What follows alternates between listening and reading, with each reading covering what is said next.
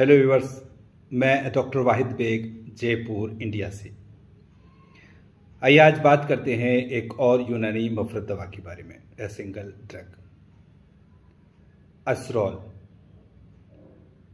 यानी सर्पगंधा। इसको छोटी चंदन, छोटी चंदर चंदर और छोटी चाँद भी कहते हैं, चाँद। राल्फोलिया सरपेंटिना इंग्लिश में कहते हैं, पागल की बूटी, पागलपन की बूटी स्नैक रूट भी कहा जाता है। इस तरह से इस दवा के कई नाम हैं। ये एक छोटा सा दरख्त होता है, उसकी जड़ होती है। इस जड़ को पीस करके दवा के तौर पर इस्तेमाल किया जाता है। इस जड़ का जो एक ख़ास असर है, वो मुसक्किन असर है। इसका मिजाज सर्द व खुश्क है, लेकिन खुश्की इसके अंदर बहुत कम है। सर्दी ज़्यादा पाई जाती है और सर्दी कुछ इस तरह की है कि जो उज़ू हैं, जहाँ पर के तरी होती है तो वहाँ ये तरी पैदा कर देती है। उस तरह से ये सर्दी है इसकी। इसके मुसक्किन होने की जो एक मिजाज है टेंडेंसी है, उसकी वजह से ये जिसम के कई ऑर्गन्स पे ख़ास तौर से नर्वस सिस्टम और रेस्पायरेटरी सिस्टम और कार्डियोलॉजी में बहुत अच्छा काम करती है। यही वजह है कि इसको ब्लड प्रेशर की एक ख़ास दवा माना जाता है हाई ब्लड प्रेशर चूँकि ये जो कल्ब की गर्मी है, उसको कम करती क्योंकि दिल हमारे जिस्म का सबसे गर्म वज़ू है और उसमें जब और हरारत बढ़ती है ब्लड प्रेशर हाई की वजह से तो उसको ये कम करती है, उसकी स्पीड को कम करती है, इस तरह से ब्लड प्रेशर नॉर्मल हो जाता है। लेकिन इसका बहुत लंबा इस्तेमाल जो कार्डियक मसल्स हैं, उनको कमज़ोर करता है। इसलिए इसको ज़रूरत पड़े तो कुछ माह देने के बाद, कुछ हफ्तों के लिए रोक दिया जाए। और फेर दिया जाए। इसका एक ख़ास इस्तेमाल रेस्पायरेटरी सिस्टम में भी है, जहाँ पर कि लंग्स में कंजेशन हो, चाहे वो अस्थमेटिक हो, जबकि गर्मी की वजह से खुश्की पैदा होकर के तशन्नुस होता है। एक कंस्ट्रक्शन है सीने में कंजेशन है, और बलगम नहीं निकल रहा है, उस हरारत, उस गर्मी की वजह से गाढ़ा हो गया है, चिपका हुआ है और तशन्नुस है खिंचाव है, तब ये दवा लंग्स को शिथिल करती है, तस्कीन देती है, रिलैक्स करती है और इस तरह से वो बलगम आसानी से छूट करके फिर अपनी क़वत मुदवरा अपना काम करने लगती है और वो अब आसानी से बलगम निकल जाता है, बाहर हो जाता है। इसी तरह से इसको खास बल्कि मैं, मेरे यहाँ पर ये ख़ास तौर से इस मकसद के लिए इस्तेमाल होती है, नींद लाने के लिए और दिमाग के सुकून के लिए। इसकी मकदार खुराक 250 मिलीग्राम से एक ग्राम तक होती है। आमतौर से 500 मिलीग्राम काफ़ी होती है। हालाँकि कभी कभी दो ग्राम तक दी जा सकती है, लेकिन वो देना ठीक नहीं है, मेरी सलाह नहीं रहेगी। क्योंकि 500 मिलीग्राम के बाद देने के बाद गनूदगी आती है और कुछ लोगों को उल्टी भी हो जाती है, कुछ को बर्दाश्त नहीं भी होती है। लेकिन 500 मिलीग्राम साठ सात सौ मिलीग्राम या एक ग्राम तक ये सेफ़ है। जब हमें सिर्फ़ नींद का मसला हो, दिमाग में खुश्की की वजह से, नींद अक्सर खुश्की हो, दिमाग में हो जाने की वजह से नहीं आती है। और जब दिमाग में खुश्की की वजह से नींद नहीं आ रही हो, उस वक्त हम सोते वक्त एक गोली पाँच सौ मिलीग्राम की आप कैप्सूल के फॉर्म में भी दे सकते हैं। सोते वक्त देते हैं तो अच्छी नींद आ जाती है। लेकिन अगर किसी को ज़्यादा खुशकी है, तब हम ये करते हैं कि इसके साथ हम वज़न जो मग्ज़ तो हम कद्दू कद्दू के बीज का मग्ज़ पीस करके मिलाते हैं और फिर गोलियाँ बनवाते हैं या कैप्सूल भरते हैं और तब दी जाती है। तो उस तरह से ये जो तरतीब दिमाग दिमाग में तरी अच्छी पैदा करता है और अच्छी नींद आने लगती है। जिनका मिजाज गर्म है, सफराबी मिजाज है, दिमाग में ज़्यादा खुशकी है, वहाँ पर हम ये देते हैं। लेकिन कुछ ऐसे लोग भी हैं जिनको इसकी ज़रूरत तो है, लेकिन उनके दिमाग में या तो बलगमी मारता है या उनको नज़ला ज़ुकाम रहता है। तो ऐसे लोगों को इसमें कम से कम पच्चीस पच्चीस परसेंट और कभी कभी फिफ्टी परसेंट काली मिर्च पीस करके शामिल करके गोली बनाई जाती है। जब बलगमी मिजाज वालों को हम अगर तनहा ये देते हैं तो नाक में कंजेशन होने लगता है, नाक बंद होने लगती है, नज़ला होने लगता है, वहाँ पर बलगम का इज्तम होने लगता है, जमा हो जाता है। तो इसलिए ऐसे केसेस में जबकि आपको लगता है कि मिजाज में बलगमियत है, तरी है तो आप फिलफिल स्याह के साथ इसकी गोली बना करके, जब आपको लगता है कि खुश्की है तो आप मग्ज कद्दू के साथ बना करके दें। और जब ऐसा कुछ ज़्यादा किसी चीज़ की नहीं लगती है नॉर्मली तो आप सिंपल सर्वगंधा की गोली बनाकर दे सकते हैं। जैसा कि मैंने बताया असरोल ज़्यादातर गर्मी की वजह से होने वाले या सफरा की वजह से कहें हम होने वाले अमराज, या और ज़्यादा बेहतर लफ्ज़ होगा तहरीक। जब कहीं पर हरारत की वजह से तहरीक पैदा होती है तो उसको जब तस्कीन की ज़रूरत होती है तो उस मकसद के लिए हम असरौल को इस्तेमाल करते हैं। चाहे वो पेट का दर्द हो या मैदे का ज़ख्म हो ख़ास तौर से जुजुल अल्सर के लिए, या ब्लड प्रेशर हाई हो, या नींद की कमी हो, या कब्ज़ हो, कब्ज़ में हम इसको, अगर आप इसको गुलकंद के साथ मिला कर के दें तो बहुत अच्छे रिजल्ट्स रहते हैं। आप इसको हलेला जर्द के साथ मिलाकर भी दे सकते हैं।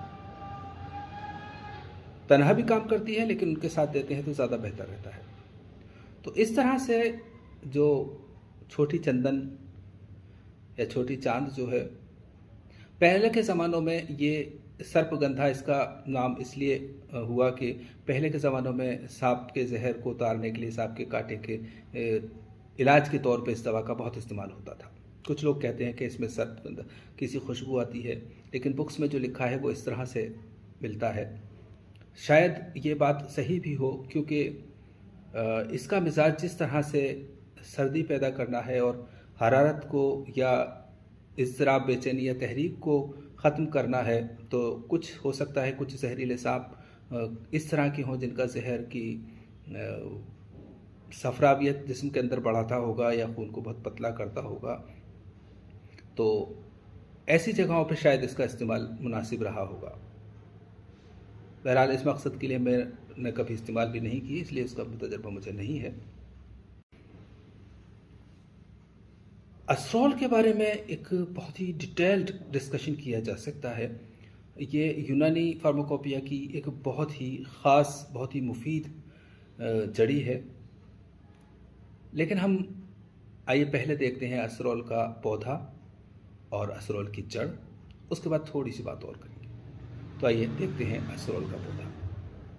इनफैक्ट मैं बता दूँ असरॉल का पौधा मैंने बागों में भी देखा है, जो कद आदम, यानी कि पाँच छः फुट, सात फुट तक ऊँचा देखा है मैंने। लेकिन मैं किसी वजह से उनका वीडियो नहीं बना सका। मैंने अपने घर पर ही इस पौधे को लगाया, बड़ा किया, और ज़ाहिर सी बात है, छोटी गमले में इतना बड़ा नहीं हो सकता। जितना बड़ा हुआ, वो हम देखते हैं। उससे काफ़ी कुछ समझ में आता है।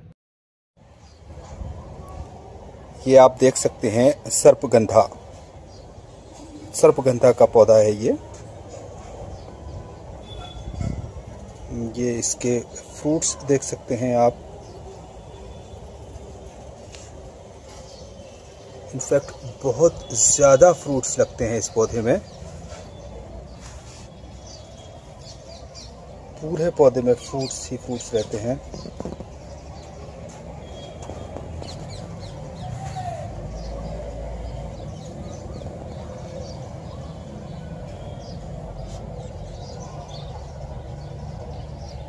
ये देख सकते हैं आप इसका एक फ्रूट ये अब सूख रहा है। इस तरह से ये फ्रूट्स सूखते रहते हैं, झड़ते रहते हैं और नए आते रहते हैं।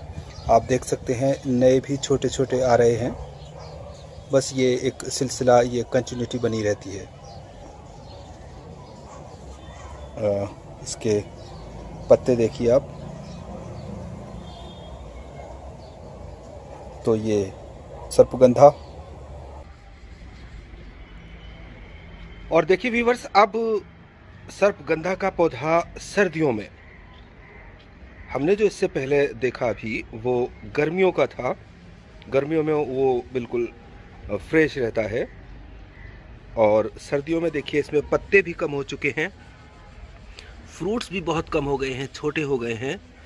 पत्तों में जो हरियाली है, जो सब्ज़ी है, वो भी कम हो गई है।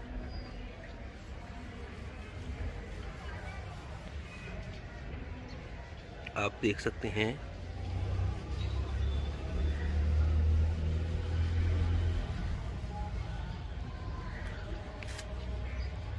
तो इस तरह से इसमें पत्ते भी गिर चुके हैं। और इत्तेफाक से देखिए, पास ही ये भूई आंवला का पौधा। हालाँकि ये बारिशों का पौधा है, लेकिन चूँकि इस पौधे को यहाँ पर इस मटके में, इस घड़े में खूब पानी मिलता है, रोज़ पानी मिलता है। इसीलिए ये अभी तक भी सरसब्ज शादाब है, हरा भरा है। बहरहाल, हम देख रहे हैं सर्पगंधा और हाँ बाई चांस गिलोय की बेल भी।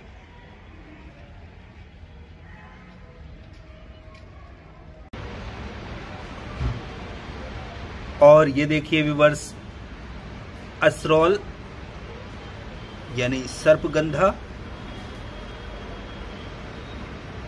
इसकी जड़ें इतनी मोटी भी होती हैं और देख सकते हैं बारीक पतली भी होती हैं। बहुत मुश्किल से पिसता है ये। राव वोल्फिया। जेबलू के बाद वो है, राव वोल्फिया सरपेंटीना सर्पगंधा, छोटी चाँद।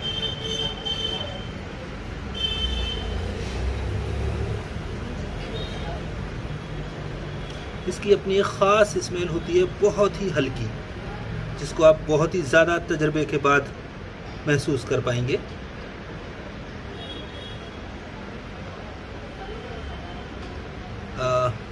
Light yellow colour